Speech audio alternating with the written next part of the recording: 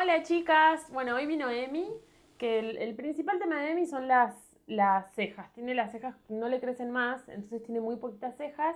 Y, enseñé cómo, cómo, recrear una ceja de, casi de cero. Ya sé que es muy complicado, que es muy difícil, pero está bueno eh, tenerlo de herramienta para eh, eh, días especiales. Y también otro dato que voy a tirar, si alguna viaja y tiene este tema en las cejas, en Estados Unidos no tengo exactamente los datos, capaz que los consigo para el posteo, pero en Estados Unidos eh, ah, recrean las cejas como las recreé yo tatuado, de una manera increíble, o sea, pelito por pelito, haciéndolo claro oscuro. Todo esto que van a ver en Estados Unidos lo hacen acá, no conozco a nadie que lo haga así de bien. Así que si, si no tenés cejas, si parece las cejas, si no te crecen y demás, en Estados Unidos las hacen increíbles. Voy a ver si consigo los contactos y se los dejo en el posteo. Vamos a empezar con Emi poniendo una base que casi que nada, porque no le quiero tapar esas pecas. Es solo para unificar un poco. De hecho, mezclé base con, una crema en gel, que es la, mm, la, la crema en gel de Bobby Brown. Es una crema hidratante gel. Siempre los geles son mejores que las cremas para, para mezclar con base porque se secan. Ahora vamos a poner corrector de ojeras. Estoy usando el de Bobby es bastante cubritivo y es hidratante a la vez. Y ponemos un poco de corrector en el párpado móvil. Acuérdense de no cargarlo, pero sí de poner un poquito para corregir un poco la ojera, que a veces hay ojera en el párpado superior. Y también para que la sombra se adhiera mejor.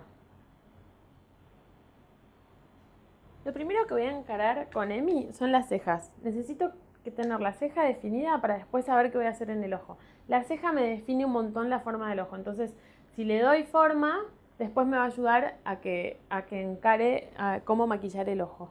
Y lo que vamos a hacer, como ella tiene muy poquito pelo acá, y acá tiene un poco más, va, queda desprolijo si yo le relleno acá y acá solo le relleno. Entonces lo que acá vamos a hacer es simular unos pelitos para que quede más prolijo. Y lo vamos a hacer con un pincel chanfleado bien finito en este caso ya tiene cejas negras, así que vamos a hacerlo con negro, lo pueden hacer con marrón oscuro. Y vamos a seguir la forma del pelo para que quede natural y simplemente apoyar, no pintar, solo hacemos una apoyadita. En este caso estoy usando delineador en gel. Si está un poquito seco es mejor porque no va a marcar tanto. Emi lo que quiere es empezar a ponerse sombras y le da miedo porque siente que tiene mucho párpado. Lo que tenemos que tener en cuenta es que cuando sentimos que tenemos mucho párpado y que la sombra va a abarcar toda la cara, es poner sombra más chiquita, no irse tan para arriba, hacerla un poco más finita y esfumar más cortito. Acuérdense primero siempre de sacar el pliegue que quedó del corrector y con un pincel chiquito como para que no, se nos zarpe en tamaño de nacimiento vamos cubriendo el párpado móvil. Y con una sombra del mismo color pero más clarita, vamos a esfumar subiéndonos un poco, pero tiene que ser bien clarita para que no llame tanto la atención la sombra. Y ahí unimos un poco lo de arriba con un poquito abajo, no vamos a, cargarle abajo. Vamos a delinear arriba y vamos a enfatizar mucho la parte superior del ojo para que el ojo levante. Igual la ceja, la forma de la ceja que hice me ayudó bastante a que definir bien el ojo y a que el ojo haga esto. Y algo que también va a ayudar bastante es en, el final del ojo con una sombrita oscura, puede ser negra o un verde más oscuro si es que la paleta lo tiene, es hacerle como, como si fuera un circulito. Esto siempre lo tienen que hacer con el ojo abierto, cerrar. Y ven que ahí me quedó ese pliegue, ese pliegue se emprolija después, pero siempre la sombra hay que colocarla con el ojo abierto. Vamos a delinear adentro y vamos a rellenar la raíz de las pestañas con ahínco. Vamos a delinear la línea de agua toda entera. Porque esto le va a marcar muchísimo el ojo divino que tiene y va a ayudar un montón a la forma. Iluminamos un poco el lagrimal, tampoco nos zarpemos, porque con un ojo muy grande hay que hacer todo como sutil. Si podemos el delineado que hicimos en el párpado, en la línea de agua inferior, nos metemos con un pincel y esfumamos como la raíz de las pestañas para que no quede tan duro.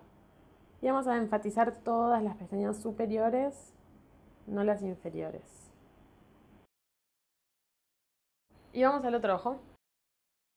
Lo más importante en Emi es encarar el tema de las cejas porque no le crecen. Entonces, las tenemos que recrear. Para recrearlas, acordémonos que tiene que tener una base un poquito oscura y después vamos a pintar pelito por pelito.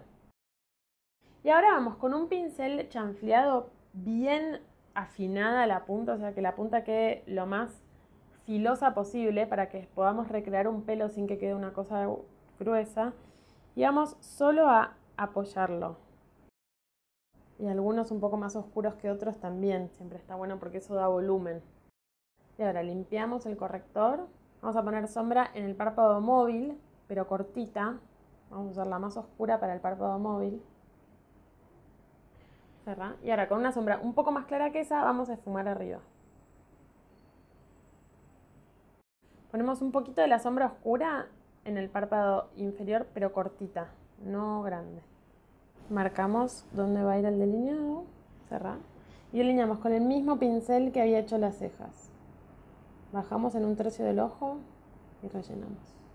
Delineamos la línea de agua y unimos con arriba. Esfumamos como si quisiéramos pintar las pestañas.